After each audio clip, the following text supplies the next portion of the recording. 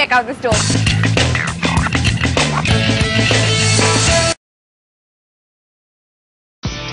and talk about living for the lens.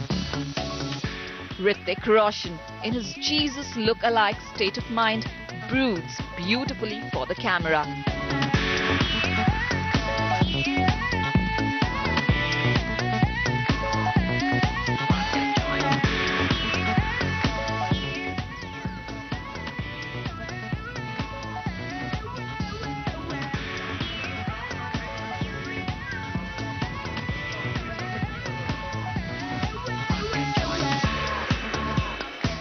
Having done some of his best work for Daboo Ratnani, 2010 shot is about the dark side of this moon.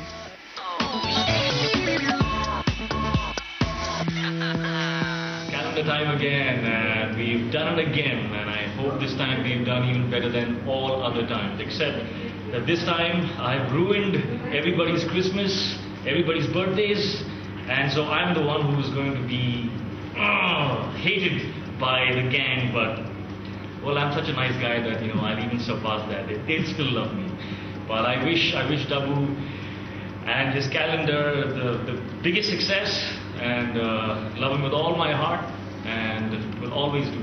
Looking forward to the next one. Kick ass again.